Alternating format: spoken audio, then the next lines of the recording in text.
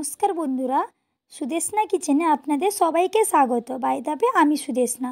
আজকে আমি আপনাদের সাথে শেয়ার করছি নতুন একটা ভিডিও নতুন একটা রেসিপি আজকে আমি করেছি তেলপুই শাকের চচ্চড়ি।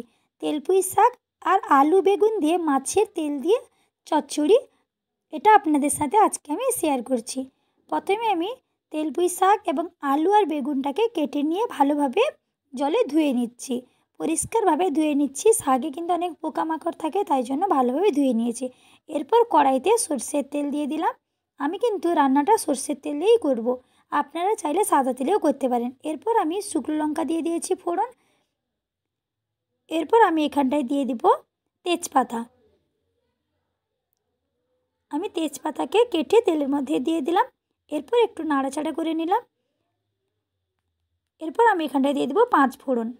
দেখতে পাচ্ছেন, আমি এক চামচের মতন পাঁচ ফোড়ন দিয়েছি। দিয়ে খুন্তির সাহায্যে ভালোভাবে নাড়িয়ে নিচ্ছি।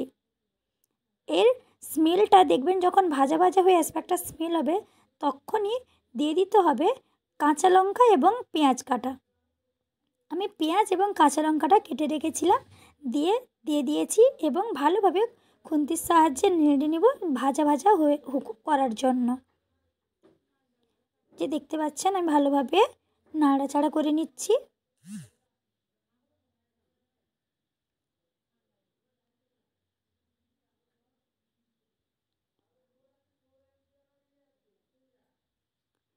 এরপর আমি এখানটায় দিয়ে দেবো মাছের তেল।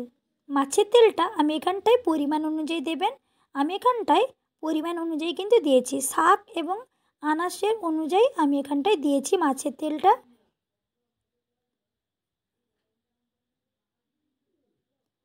এরপর আমি এখানটায় দিয়ে দিব লবণ।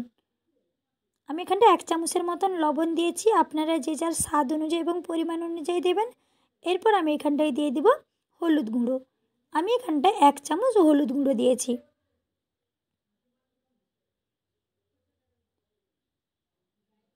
এরপর ভালোভাবে খুন্তির সাহায্যে আমি জিনিসটা ভাজা ভাজা করে নিব, খুন্তির সাহায্যে মাখিয়ে নিব।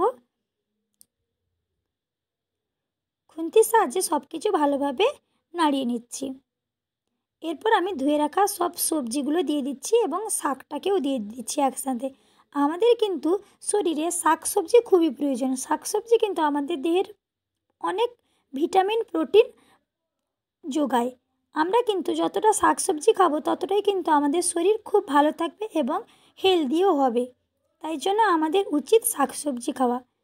আপনারা কিন্তু আমার ভিডিওটাকে দেখবেন এবং আমার আমার চ্যানেলটা সাবস্ক্রাইব করে রাখবেন। আমি আপনাদের অনেক নিত্য নতুন রেসিপি শেয়ার করব।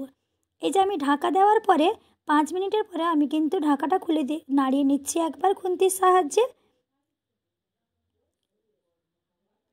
দেখতেই পাচ্ছেন আমি কীভাবে খুন্তির সাহায্যে নাড়িয়ে নিচ্ছি।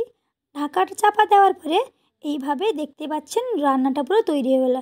খুবই সহজ এবং কম কম খরচে আপনারা তাড়াতাড়ি রেসিপিটা তৈরি করতে পারেন।